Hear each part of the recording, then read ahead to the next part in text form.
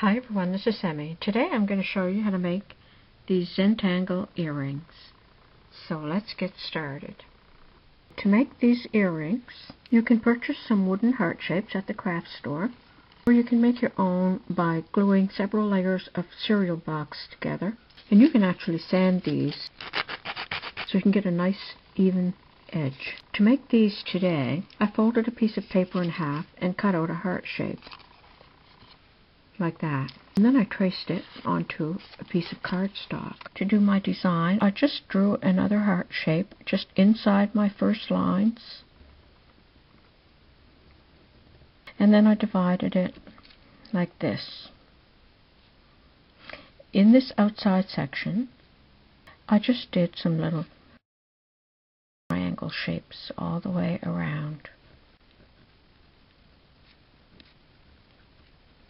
In this little section, I just made little wavy lines.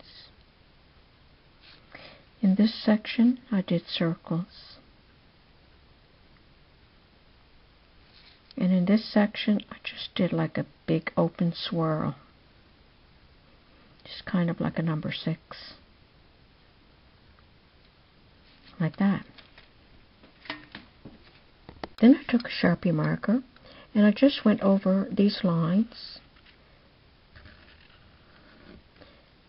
and here, I filled in all of these triangles.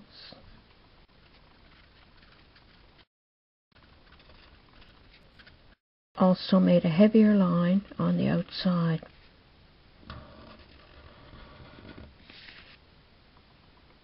Like that. I used school glue to glue three layers of cereal box together. And then I glued the heart on top. Now if you move your item around like that until you feel it grabbing, you'll have good adhesion. Then I'm just going to press down on it, make sure that everything is all connected, and then I cut it out along the outside of that black mark.